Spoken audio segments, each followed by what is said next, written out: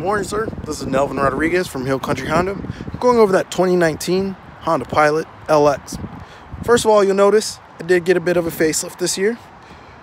And my LX models did get a couple features as well added to them from the 2018 model. We're gonna just take a quick look, show you how beautiful and comfortable and how safe my Honda Pilot actually really is. So just a quick look. You can also have your third row up or knock it down. Simply just pull and release. Once you release, this will go forward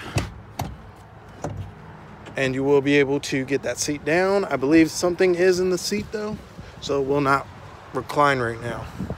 As you can see, it'll be flat, allowing you to pick up some cargo, or if you needed to, simply just pull up and now you can add another person to your back row.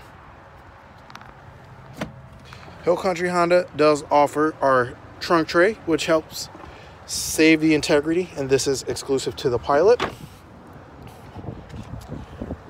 We'll put this down to show you the nice LED lights that you will have.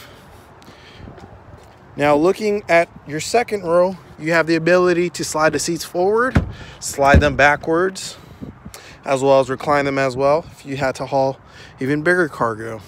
You will have two AC vents right here.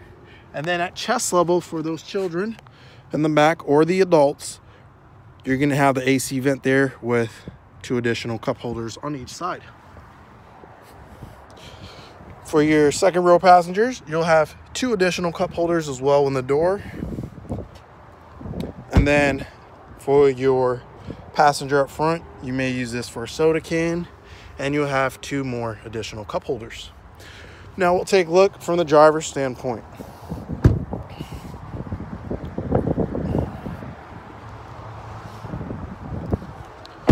So from the driver's standpoint, you're going to have a very sophisticated cockpit. You will have um, hand controls right here for the volume, your home button on the home screen. We will turn this on. You do have a push start as well. Fully electronic tach with voice commands, giving you the ability to pick up the phone, hang up the phone, as well as adaptive cruise control right here with lane keep assist technology and frontal collision mitigation right here with the lane departure as well.